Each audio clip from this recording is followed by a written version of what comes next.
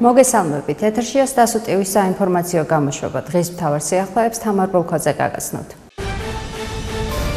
პოლიტიკური კამპანიის პროცესში ბუნებრივია ჩვენ ვშელოთ ვიხსენებთ წარსულს, საუბრობთ აწყოსა და მომავალზე. არ შემიძლია არ გავიხსენოთ ჩვენი ბნელი წარსული, რომელიც 2012 წლის 1 ოქტომბერს ჩვენ ყველამ ერთად დავასრულეთ.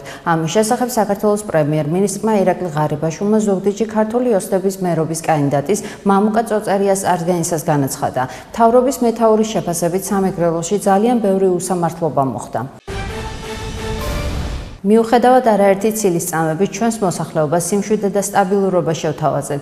8 წლის განმავლობაში ჩვენს ქვეყანას არ ქონია არავითარი კონფლიქტი და ომი და არც ექნება მანამ, სანამ ჩვენი პარტია იქნება სათავეში. ამის შესახებ საქართველოს პრემიერ-მინისტრმა ირაკლი ღარიბაშვილმა წალენჯიხის მერობის კანდიდატად გოგა გულორდავას წარდგენისას განაცხადა. მისი თქმით, კეთილდღეობა მოქალაქეთა დასაქმება სიღარიბის დაძლევა უნდა იყოს ხელისუფლების მთავარი საზრუნავი. როგორც მან აღნიშნა, უსაგნო გაუთავებელი და გაუაზრებელი პოლიტიკური დებატი დაბატებითა და ბატალიებით ყველა დაიღალა. ოპოზიციას არს არჩევნების გადადება, არს გადმოწევა და თარიღის შეცვლა არ უშველის. ის მარცხი უნდა მიიღოს, რასაც 2 ოქტომბერს საზოგადოება გაუფორმებს. ამის შემდეგ კი სამი წელი დაждდეს და კარგად იმეცადინოს საზოგადოებასთან ერთად. ამის შესახებ საპარლამენტო უმრავლესობის წევრმა გურა მაჭარაშვილმა ჟურნალისტებთან განაცხადა, რითაც არჩევნების გადადებასთან დაკავშირებით ყოფილი პრეზიდენტის მიხეილ სააკაშვილის მოსაზრებას გამოეხმაურა. მისი თქმით, ოპოზიცია ამჯერადაც ვერ თანხმდება საკითხზე და ყოველს ვინც არჩევნების გადადების მომხრე იყო, სააკაშვილის შუმა ცივის ყალი გადაასხა. არგის ღაპარია, როცა გჯერა რომ იგებ მაშინ, როცა ამის არანაირი ნიშნები არ გავს. ასე ეხმაურება გირჩის დეპუტატი იაგო ხვიჩია ჟურნალისტებთან ნაციონალური მოძრაობის მიერ ჩატარებულ შიდა პარტიულ კვლევებს. იაგო ხვიჩიას თქმით, კვლევები, რომელიც ნაციონალურმა მოძრაობამ და მანამდე ქართულმა ოცნებამ ჩაატარა, დობას არ იმსახურებს, რადგან ისინი სინამდვილეს არ ასახავს. ქართული ოცნების და ნაციონალური მოძრაობის კვლევები გვაჩვენებს, რომ არ შეიძლება ვენდოთ პარტიულ კვლევებს და სერიოზულად ვილაპარაკოთ მასზე. თუ გვინდა ადამიანებს მო მოუწოდოთ ინფორმაცია რეალური მდგომარეობის შესახებ, განაცხადა ხვიჩიამ. ცნობისთვის ნაციონალური მოძრაობის დაკვეთით ჩატარებული კვლევის მიხედვით 4 ქალაქიდან ორში თელავსა და რუსთავში ნაციონალური მოძრაობის მერობის კანდიდატები ლიდერობენ, ხოლო ქუთაისსა და ბათუმში ქართული ოცნების მერობის კანდიდატები. ადგილობრივი თვითმმართველობის წინასაარჩევნო კამპანიის ფარგლებში სამგორის მაჟორიტარი დეპუტატობის კანდიდატი რევაზ სოხაძე ამჯერადაც ვარკეთილი მესამის სხვადასხვა უბნის მაცხოვრებლებს შეხვდა. შეხვედრაზე მაჟორიტარობის კანდიდატმა დეტალურად ისაუბრა იმ ინფრასტრუქტურულ პროექტებზე, რომელიც ვარკეთილი მესამის ტერიტორიაზე განხორციელდა და მოსახლეობას სამომავლო გეგმების გააცნო. თუმცა გამოწვევები ისევ რჩება, რისთვისაც საჭიროა ბინათ მესაკუთრეთა ამხანაგობების განვითარების ხელშეწყობის პროგრამის მიმართულებით გაიზარდოს დაფინანსება, რაც არსებულ სოციალური პრობლემების მოგვარების ტემპებს გაზრდის. ძალისხმევას არ დავიშუროთ, მე და ჩემი გუნდი რომ ზოგდიდის განვითარება უფრო საგრძნობი იყოს. კეთილდღეობა თითოეულ ოჯახამდე და ადამიანამდე მივიდეს. მადლობა ქართულოსნებას უდიდესი ნდობისა და შესაძლებლობებისთვის. ვემსახურო ჩემს ზოგდის და ზოგდიდელებს. განაცხადა ქართული ოცნების ზოგდიდის მერობის კანდიდატმა მამუკა წოწერიამ წარდგენაზე. როგორც მამუკა წოწერიამ აღნიშნა, ზოგდიდ ჩვენი ქვეყნის ისტორიაში ყოველთვის მნიშვნელოვანი როლი ენიჭებოდა და ასია დღესაც. ქართული ოცნება იმდანის უსუსურობამდე მივიდა, რომ ძალაუფლების შენარჩუნების მიზნით დღეს ზუსტად იმავე მეთოდებს იყენებს, რასაც 2011-12 წლებში ნაციონალური მოძრაობა იყენებდა. ამის შესახებ პარტია საქართველოსთვის ლიდერმა გიორგი გახარიამ ბათუმში ჟურნალისტებთან განაცხადა. როგორც გახარიამ აღნიშნა, ქართული ოცნების დღევანდელი ბოსები მზად არიან ყველაფერს ხაზი გადაუსვან და ნაციონალურ მოძრაობას დაემსგავსონ, რათა სავარცხლები შეინარჩუნონ. დედაქალაქის მთავრობის ხდომა კორონავირუსით გარდაცვლილი ადამიანების ხსოვნისადმი პატივის მიგებით დაიწყო. თბილისის მერის კახა კალაძის ინიციატივით ხდომის მონაწილეებმა ვირუსით გარდაცვლილთა მიმართ სამძიმარი წუთიერი დუმილით გამოხატეს. როგორც მან ხდომის დაწყებამდე გამართულ ბრიფინგზე განაცხადა, დღეს ვირუსთან ბრძოლის ხაზი გადის თითოეული ადამიანის პასუხისმგებლობაზე და ჩვენზეა დამოკიდებული გავიმარჯვებთ თუ არა ამ ბრძოლაში. მისივე თქვით, ნებისმიერი თემა უფერულდება იმის ფონზე, რაც ჩვენს ყოველდღიურობაში ხდება.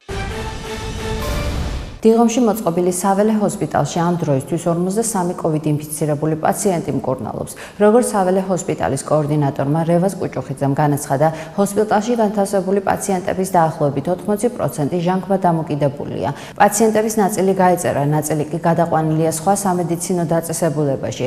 ჰოსპიტალში მოთავსებული COVID ინფიცირებულების მდგომარეობა საშუალო სიმძიმისაა, განაცხადა კუჭუხიძემ. ცნობისათვის დიღმის საველე ჰოსპიტალში პაციენტების მიღება 20 აგვისტოს დაიწყო. საველე ჰოსპიტალში COVID სასტუმროებში მომუშავე ექიმები და რესპუბლიკური საავადმყოფო სამედიცინო პერსონალი მუშაობს. ჩვენი მთავარი მიზანი იყო ელიავას ბაზრობის პროექტის განვითარება და ეს მასშტაბური პროექტი მერიისა და კერძო სექტორის სექტორის ერთობლივი მონაწილეობით განხორციელდება. ამის შესახებ თბილისის მერმა კახაკალაძემ დედაქალაქის მთავრობის ხდომაზე განაცხადა.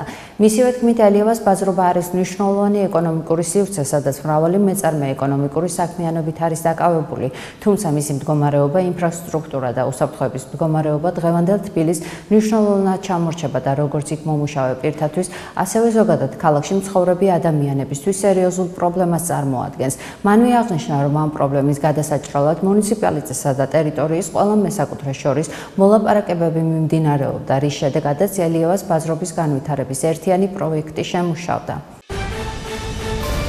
ეკონომიკისა და მდგრადი განვითარების მინისტრის მოადგილე მარიამ ქრუიშულმა უნგრული ავიაკომპანია ვიზიარის ტოპ მენეჯმენტის წარმომადგენლებს შეხვდა, რომლებიც საქართველოში ქართული მხარის მოწვევით ორდღიანი ვიზიტით იმყოფებიან.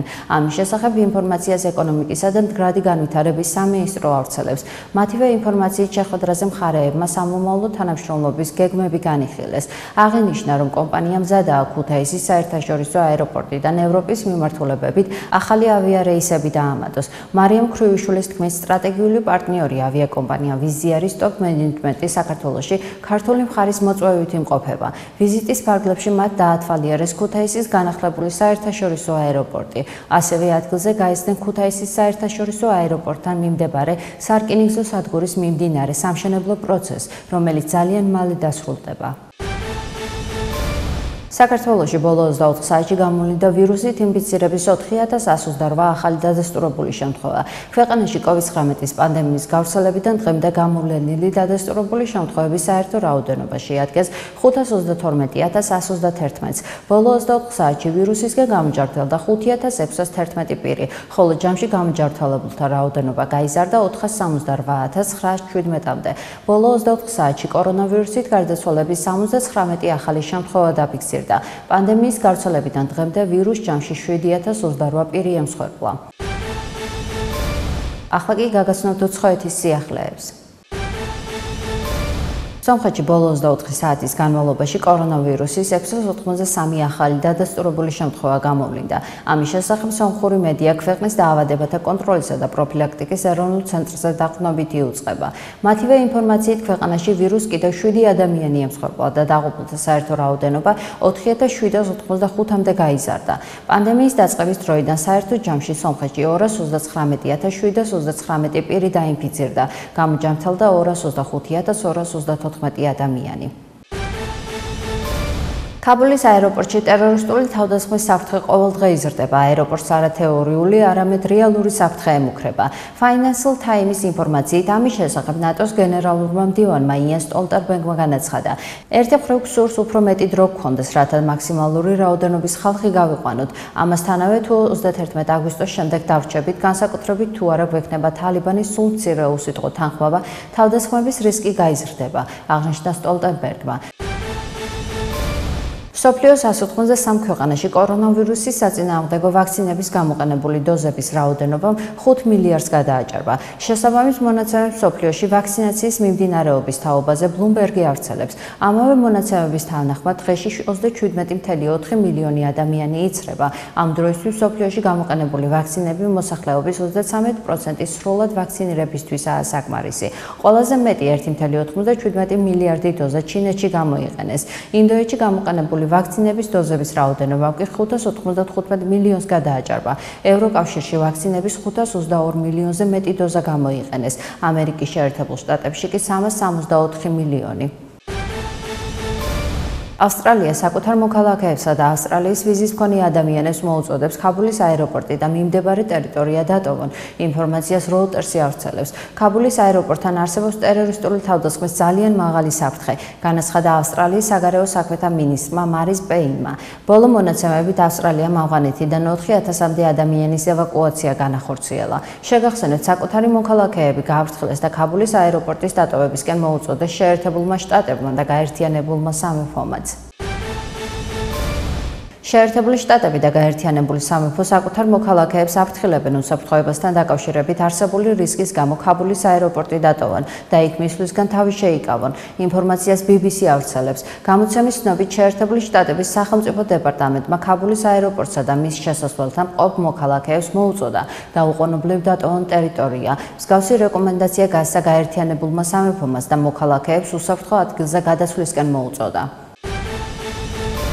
ვენესუელას შტატ მერიდაში ძლიერმა წვიმამ მეწყერი და მდინარეების ადიდება გამოიწვია, რასაც მინიმუმ 20 ადამიანის სიცოცხლე ემსხვერპლა. ინფორმაციას Reuters-ი ავრცელებს.